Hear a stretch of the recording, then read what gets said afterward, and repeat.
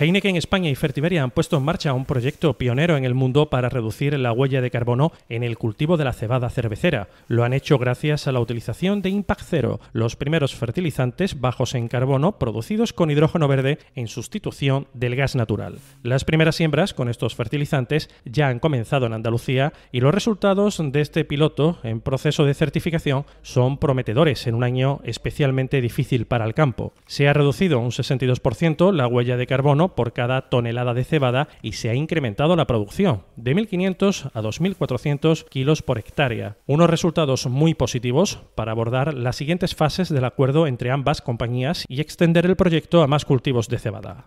Nuestra ambición a 2040 es reducir nuestras emisiones de CO2 en toda la cadena de valor, del campo al bar a los hogares.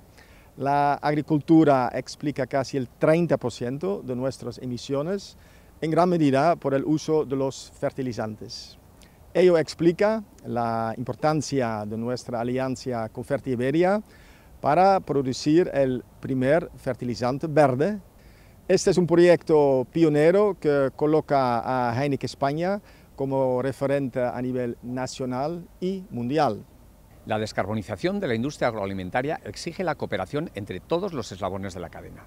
Grupo Fertiberia aporta sus soluciones de nutrición vegetal Impact Zero, que se han producido sin generar emisiones gracias al uso de hidrógeno verde y que además incluyen otra serie de innovaciones biotecnológicas para asegurar su máxima eficacia agronómica y medioambiental.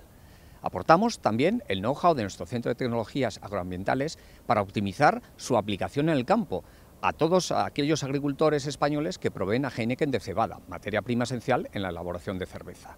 La transición ecológica es un reto de tal magnitud que exige acuerdos entre quienes la están liderando y este es un gran ejemplo del que estamos realmente orgullosos. Gracias a esta alianza, marcas como Heineken, Cruzcampo, Amstel o El Águila serán las primeras en ser elaboradas a partir de cebada cervecera con baja huella de carbono.